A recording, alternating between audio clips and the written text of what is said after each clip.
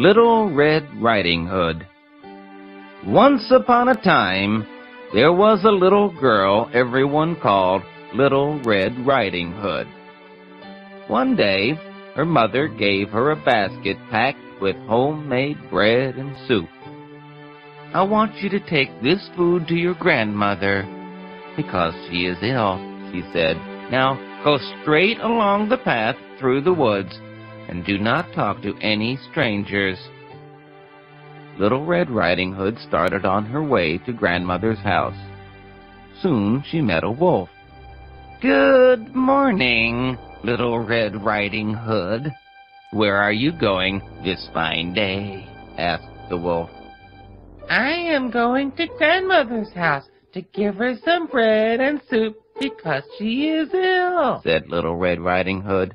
And where does she live? asked the wolf. Deep in the woods at the end of the path, said Little Red Riding Hood.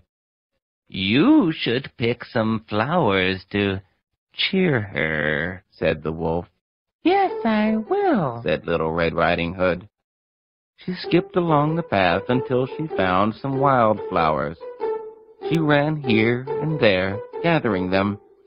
Meanwhile, the wolf ran straight to grandmother's house and gulped the old woman down.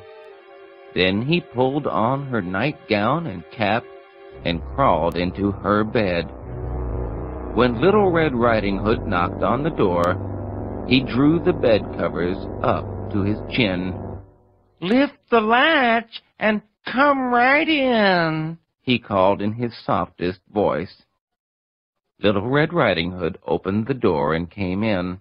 I have brought you bread and soup, grandmother, she said. Come closer, my dear, said the wolf. Little Red Riding Hood walked closer. Oh, grandmother, she said, what big ears you have. The better to hear you with, my dear. Oh, grandmother, what big eyes you have. The better to see you with, my dear.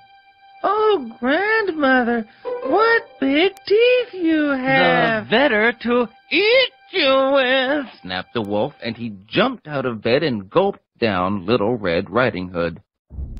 Then the wolf fell asleep in grandmother's bed. His loud snoring could be heard by a woodcutter who was passing the cottage.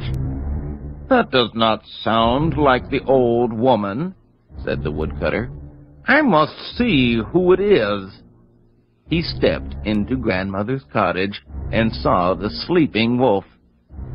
Quickly the woodcutter cut the wolf with his axe, and out jumped Little Red Riding Hood and her grandmother safe and sound.